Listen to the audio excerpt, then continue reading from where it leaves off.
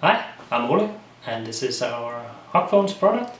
The prototype is done and we now turned it into an actual finished product which is uh, this is one of the finished ones and as you can see behind me as well we have uh, a few of the of the finished uh.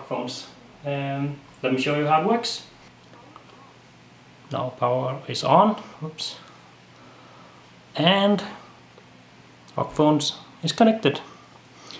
So we can now use the panel on our HugPhones. You can see the LED light is changing colors.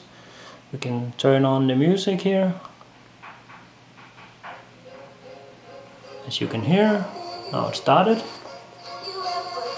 Playing pretty loud. We can turn it down. We can turn it up pretty high maximum volume which could hurt kids ears. So we made a volume limiter. So if you triple click the middle button don't tell your kids.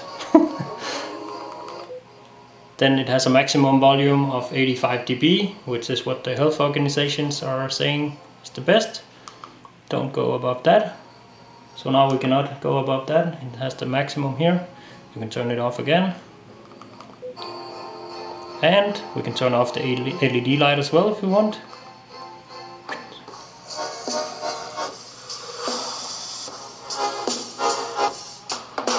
See, really big soft earmuffs, so you can even lean on the side with it. So, just put your HugPhones on, like a travel pillow legs here. We have a pillow in the back, nice and comfortable. Take on the headphones, lean back and relax. That's how it works. Turn it off. Come by me.